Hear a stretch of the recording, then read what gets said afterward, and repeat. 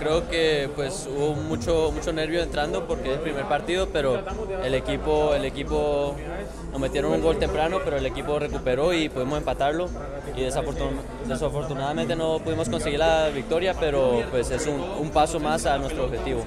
Bueno, hablemos de tu regreso, Cali, eh, la ciudad que te ayudó a hacer, obviamente te puse muy, muy temprano, muy niño a Estados Unidos, ¿para qué se siente y ese sudamericano acá en Cali? No, esto, esto es un sueño, eh, un sueño cumplido, eh, jugar enfrente de mi familia, enfrente de la gente de Colombia y pues nosotros vamos a dar lo máximo para, para el próximo partido sacar los tres puntos.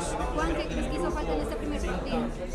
Eh, pues al final del día no nos entraba el gol y eso pasa en el fútbol y hay veces, hay veces te da, hay veces no te da.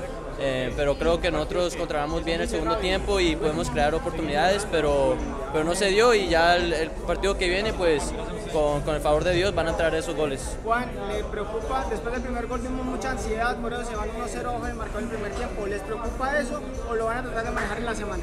No, eso, eso es el fútbol, hay veces eh, vas perdiendo, vas ganando, es, es, momentos que todos hemos pasado, nosotros tenemos la experiencia y tenemos eh, la fe en nuestros compañeros que, que, no importa cómo va el partido, que nosotros podemos empatar o ganar cualquier, cualquier, en cualquier situación.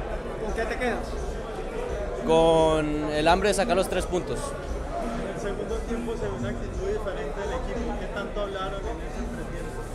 No, que pues salir y jugar el fútbol que nosotros sabemos jugar, que en el primer tiempo pues no nos, no nos salía las cosas, pero nosotros sabemos el equipo que somos, los jugadores que tenemos y, y salir y disfrutar y, tratar de conseguir el empate, que lo podemos conseguir y al final no se pudo ganar, pero, pero pues sí, sí hubo un cambio en el segundo tiempo.